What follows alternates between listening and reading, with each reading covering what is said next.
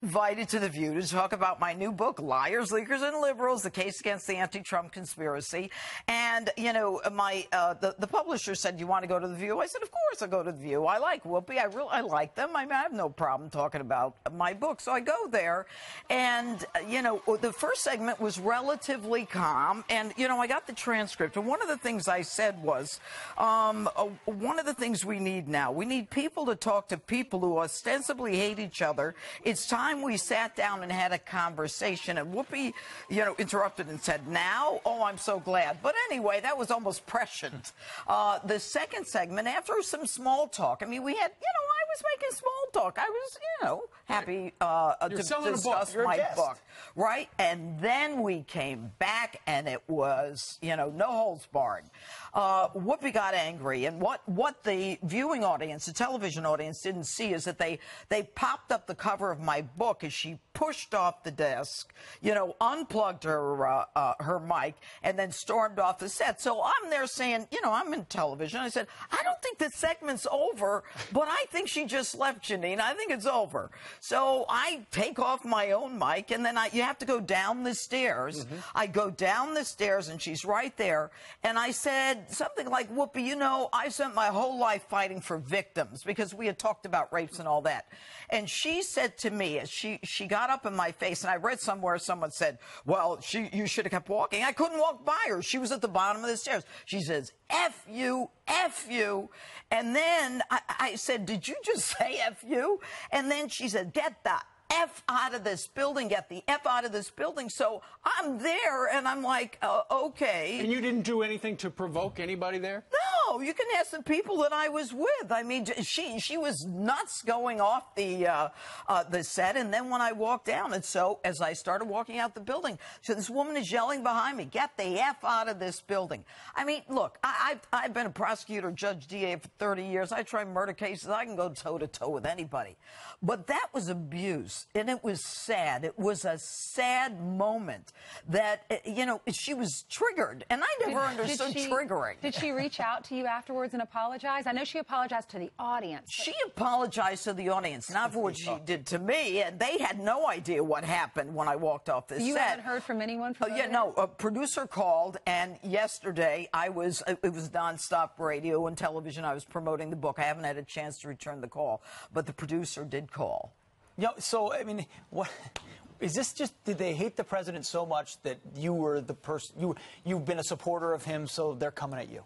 Well you know i certainly think that may be it. And you know i tried to answer the questions just yeah. like you would answer the questions. And i said you know it's another audience. It's the ability to at least talk about some of the good things that the president has done. And the problems that i talk about in liars leakers and liberals which is the corruption at the highest levels right. of the department of justice and the fbi and i have hundreds of footnotes in my book. Uh, it's an easy read. I mean, don't get scared by the footnote comment.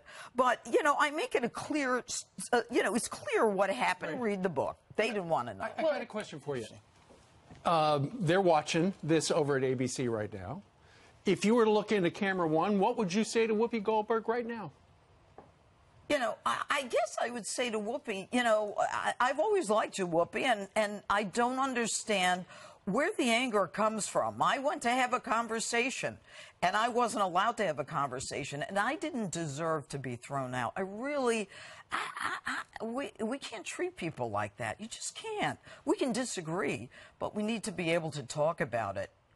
Hmm. Judge, have you ever thrown anyone off your set? No. When you ask someone to come on as a guest, I feel like you owe them the common courtesy because a book mm-hmm. tour is hard. You're going from place to place to place, and no. you're trying to speak to their audiences, and you're saying yes to invitations, and you have to make choices as to what shows you're going to go on. And for them to treat you that way, you're my family. I'm sorry that you were treated that way, well, and I think as a guest in someone's home, that's just the wrong is. way to treat someone. Yeah, it's not fair. Yeah, you're invited into their home, mm-hmm. and uh, you know to be thrown off like that was really it was disheartening. Mm. America is better than this. America is the place where you have free speech. It, but what happened yesterday was a microcosm of what's happening yes. in the nation. Yes. And Shout down and shut down. Yeah, we don't want to hear from you. Yep.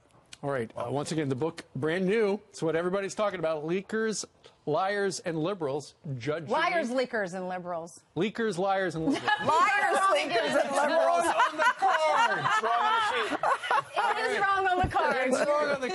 your fault. All right. Uh, all right, thank you so much. Congratulations on the book. I'm Thank sure it's going to do even better now. Well, we'll thank you. Everyone go buy it. have you here, Chris.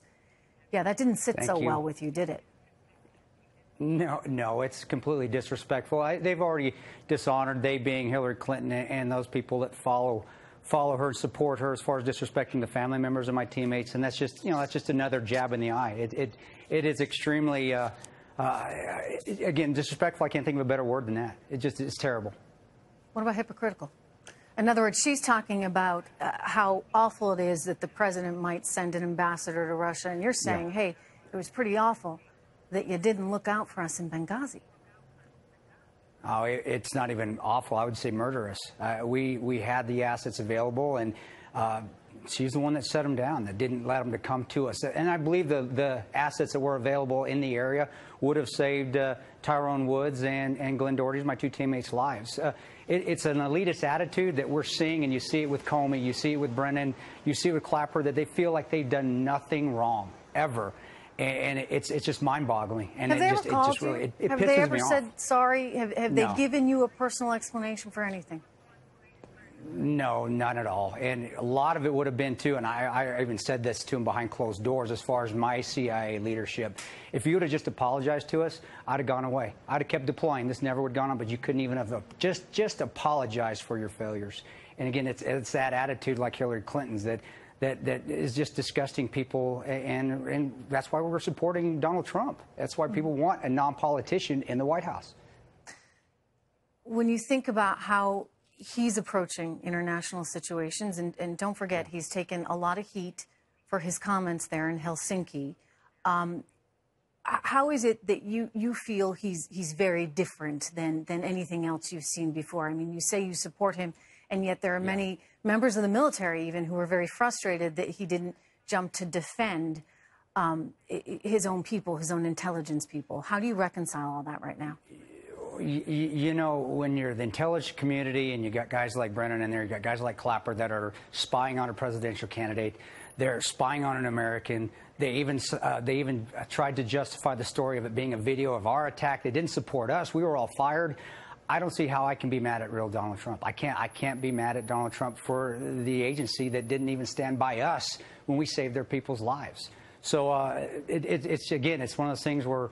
I think he's calling it how it is. He's being a real person. He's not being politically correct. I don't want somebody politically correct. I want somebody that's going to say the truth in there and not continue to, to continually lie. I, and that's what I saw in the past administration. That's what I saw with Hillary Clinton. And then again, of course, that night when we came back, it was lie after lie after lie, which caused us to come forward and tell the truth.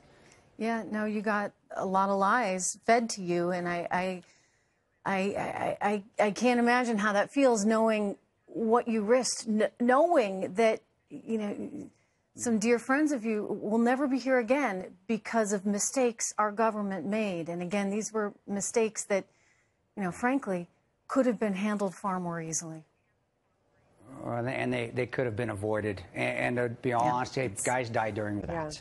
Um, so much has been made uh, of the meeting that went on between Vladimir Putin and President Trump. Now we're just a couple days past it, and, and in Russia they broadcast videos on Thursday that display, you know, the latest batch of missile tests that were going on this week. What do you make of that? I think that there's a lot of signaling that's going on.